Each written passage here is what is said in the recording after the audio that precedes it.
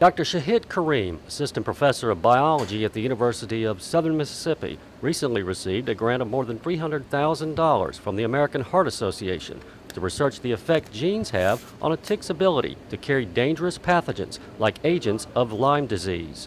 This uh, project is uh, mainly to look at uh, some of the tick salivary proteins, uh, and we, what we are trying to do is we are looking at those uh, proteins uh, which are helping these Lyme disease pathogen, which is a Borrelia burgdorferi, in getting into the human body and then evade the host immune system.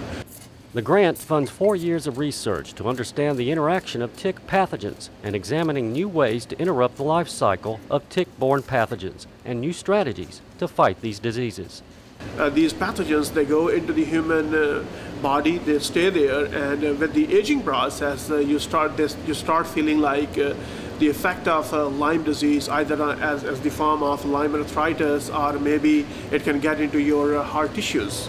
Uh, I hope that we will be able to develop some kind of uh, uh, anti-tick vaccine. So instead of working on each and every pathogen, we would have a one vaccine to for all the tick-borne diseases. According to the Center for Disease Control and Prevention, there were more than 27,000 cases of Lyme disease reported in 2007. On the University of Southern Mississippi campus in Hattiesburg, I'm Stephen Rouse sequences are there and uh, profile them. And I think uh, that's a